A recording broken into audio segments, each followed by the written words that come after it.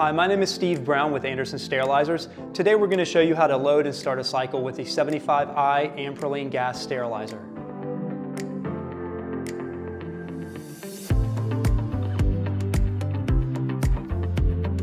When you first receive your gas sterilizer, you'll also receive a starter kit that contains your sterilization liner bags, dosimeters, gas cartridges, biological indicators, personal air scan badges, and chemical indicator tape. We'll show you how to use all of these in a few minutes in the sterilizer. Now we're going to review how to load the sterilization liner bag. For this video, we've preloaded this bag with a small cycle. Your first item will be your AN87 dosimeter. You'll place this dosimeter in the least accessible spot in the bag.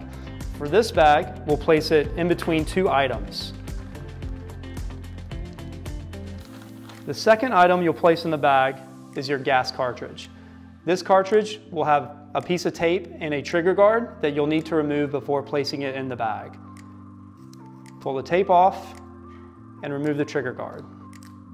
You'll not activate this button until the sterilizer tells you to later on in the process. You'll place the cartridge on top of your items where it's easy to locate when you need to press the button.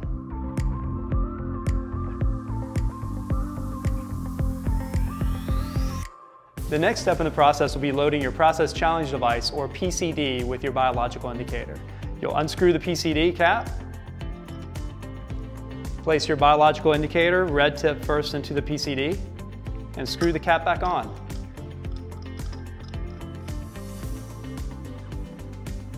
Now that we've added your biological indicator to the PCD, it's time to place the purge probe inside of the sterilization liner bag.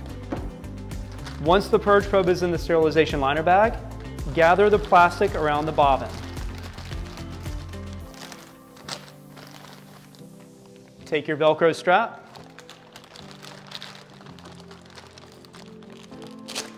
and pull a tight seal around the plastic and the bobbin. Now, simply take the Quick Connect and connect the sterilizer to your purge probe. Now that the sterilization liner bag is loaded and sealed, the sterilizer will then perform a self-test asking us to shut the door.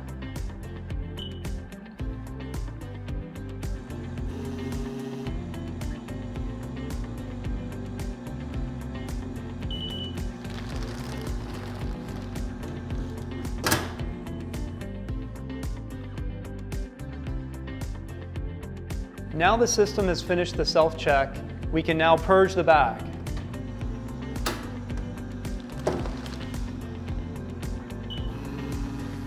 The purge process will remove any air or dead space from the bag for 90 seconds.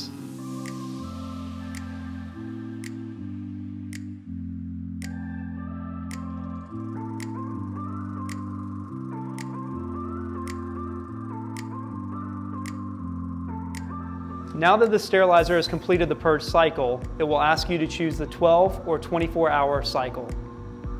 For this video, we are going to press the 12 hour cycle. After both 12 and 24 hour cycles, there is an automatic two hour purge. This screen is asking if we would like to add an additional 24 hours of aeration after that purge. For this video, we are going to select none. Based on your previous selections, the system will now display a cycle verification screen with an estimated cycle completion time. Now the sterilizer will display the start cycle screen and will prompt you to activate the cartridge, close and lock the door, and press start.